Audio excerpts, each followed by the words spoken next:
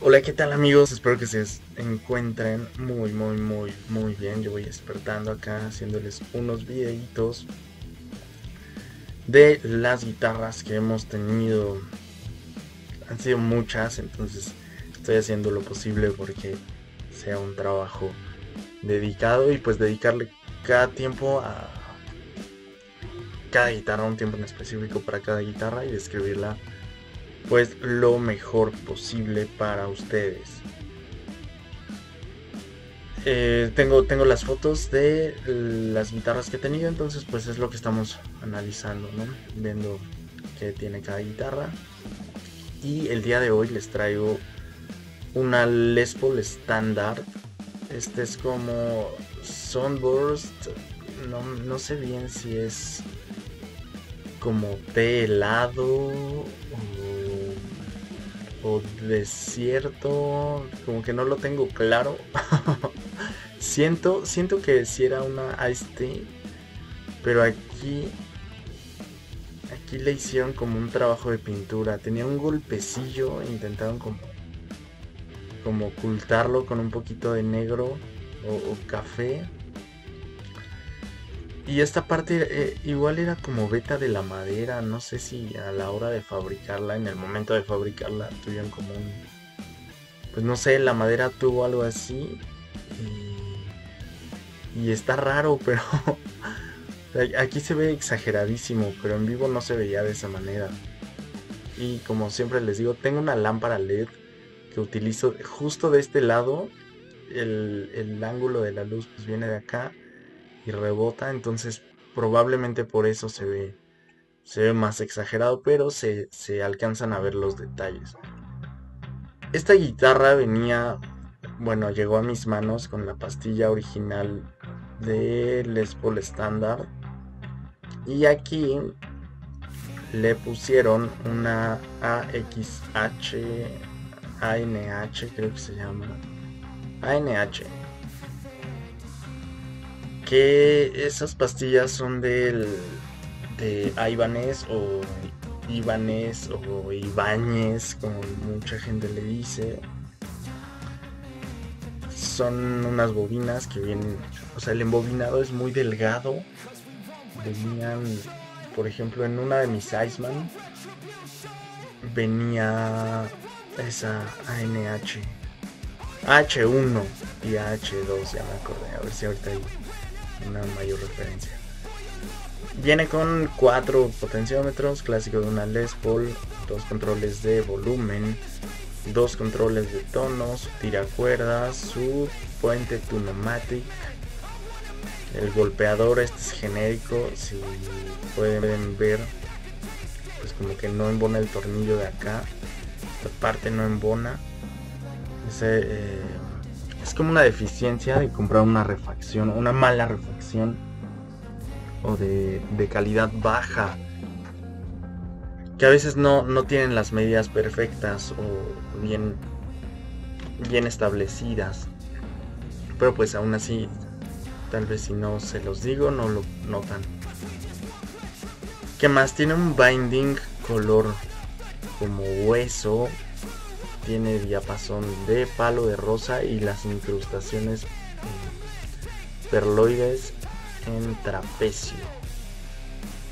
Está muy bonita esta guitarra, viene con afinadores Grover y el Les Paul Standard. Esta guitarra china del 2005 y viene pues igual con el cuerpo entintado en rojo, parece un rojo. Se ve muy guapo ese, ese cuerpo. Es clásico de las Les Paul. estén entintadas para, para apreciar el bloque de caoba. Eh, a esta no le vi como como la línea donde se unen. Me parece que esta sí es una pieza entera de caoba. Pero no estoy seguro. Si ustedes tienen información como de estas guitarras, déjenmelo aquí en los comentarios. No se ve alguna división de la caoba donde podamos decir que es como dos piezas. Tengo un review de una Les Paul Standard con tapa de ojo de pájaro, donde sí se ve la, división y son, son dos piezas pegadas, pero aquí yo no logro identificar si hay dos piezas pegadas. Esta guitarra era muy sólida, entonces tenía una tapa de maple flameado muy bonita. Eh, pues se hace, se hace ver muy bien. Lo que sí le falta son las tapas de, de las pastillas que sean cromadas, Para que tenga una estética mejor. En lo personal me gusta más con las tapas. Hay gente que dice que le quitan como un poco de sonido, no sé qué.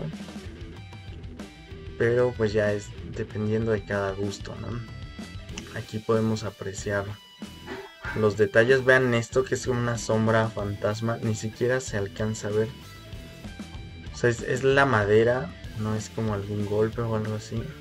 Está muy, muy loco ese detalle. Aquí tenemos la parte trasera del headstock. Muy, muy, muy a lo Epiphone. Y afinadores Grover. Y mis manos tomando fotos ahí. El Epiphone eh, con su acabado como aperlado. No sé si le meten como un bloque o viene todo esto en un tipo de calcomanía perloide. Es la etiqueta de Les Paul y su tapa a tres tornillos. Este sí dice Les Paul Standard, no dice Gibson y pues le hace lucir muy bien. Igual tiene su cejilla.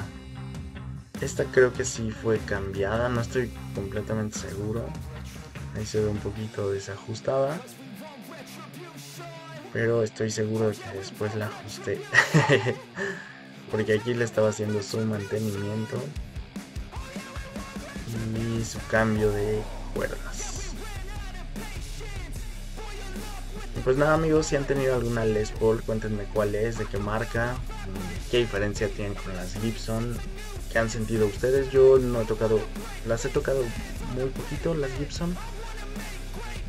No he tenido una que sea especialmente mía, pero si en algún momento llegamos a tener una, créanme que les voy a hacer un review profundidad y les voy a decir las diferencias que he encontrado em, basándome en muchas Epiphone que he tenido y en pues la Gibson, ¿no? Si en algún momento llego a tenerlas. Si ustedes tienen así en claro qué diferencias tiene una con otra, háganmelo saber en los comentarios y se los dejo aquí nos vemos para el próximo review.